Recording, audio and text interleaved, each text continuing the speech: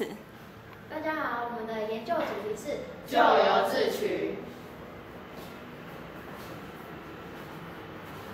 我们主题的研究动机为前阵子搜水油事件爆发，很多民众开始对食用油的品质产生疑虑，因此而开始自制猪油。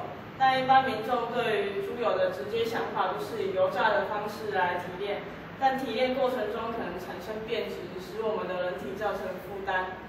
因此，我们研究以水蒸猪油来和油炸猪油做比较。我们研究目的的话，分为以下三部分。第一部分是探讨水蒸猪油与油炸猪油对于人体健康的影响。第二部分是探讨水蒸猪油与油炸猪油运用在太阳饼上其香气、酥性、口感的差异。第三部分是探讨民众对于水蒸猪油与油炸猪油的接受度。接下来文献探讨的部分，首先介绍的是传统猪油的提炼，由猪身上某些特定部位的油脂经过高温烹调之后。所提炼出的油脂，猪油刚提炼出来会呈现金黄色的透明状态，在经过降温之后，它会变成白色的固体油脂。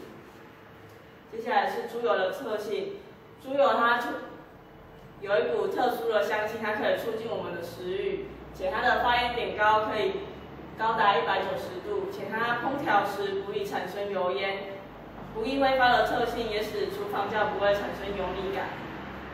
且它的保存时间长，也可以用来增加料理的脆度，适合在煎炸等烹调上。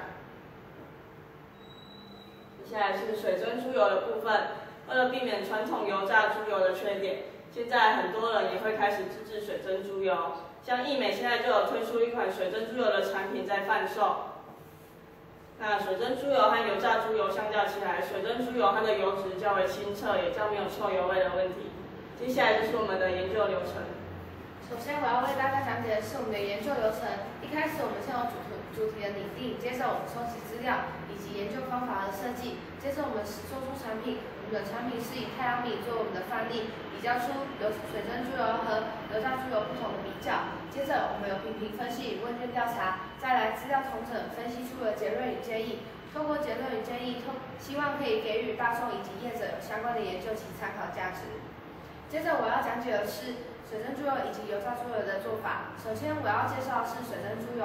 一开始，水蒸猪油有分为两种做法，第一种是电锅法，第二种是快锅法。首先，电锅法先将猪油洗净后放入电锅当中，额外锅中放入三杯水，接着盖上蒸布，等待跳起来之后，珍珠不再蒸汁不再出油后，我们将猪油过滤且放入冰箱后冷藏。接着成品就如图中一样，是呈现白色固体状的。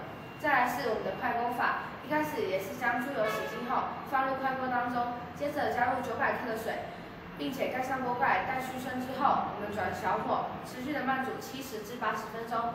接着我们将其过滤，并且放入冰箱后冷藏，就呈现了白色的固体状。再来是我们的油炸猪油，我们油炸猪油使用的是大众一般使用使用的方法。一开始我们先将猪油也是洗净之后，放入快锅中，持续的翻炒它，接着我们将猪油炸至金黄色时，我们将猪油渣过滤之后放入冰箱后冷藏，即可成为黄色的固体状。我们发现，无论是用快锅法、电锅法，或者是油炸猪油法，我们所输出的猪猪油量都是一样的呢。那我们的研究结果和分析呢？在研究结果和分析的部分，首先我们先看到这张图，在香气部分，有五十六位民众喜爱水蒸猪油。呃，四十四位民众喜爱油炸猪油。接下来是口感的部分，有五十三位民众喜爱水蒸猪油，四十七位民众喜爱油炸猪油。接着是接受程度的部分，有六十位民众喜爱水蒸猪油，四十位民众喜爱油炸猪油。最后我们来看这张圆弧图，有三十四 percent 的人曾经听说过水蒸猪油，且皆认为水蒸猪油较油炸猪油健康。在此，我们为大家做出了一个结论。无论在香气、口感及接受度方面，民众皆较偏好水蒸猪油，且皆认为水蒸猪油较油炸猪油健康。因此我们给业者的建议是，希望能够以较健康的水蒸猪油代替油炸猪油，虽然制作过程较为复杂，但却可以为消费者的健康把关。接着在大众的部分，因为近来食安问题的爆发，导致许多民众在选购外食方面产生疑虑，因此我们的建议是，希望能够希望民众能够在家自制猪油。不但能够。省下购买油品的钱，还能够吃得健康且安心。谢谢大家。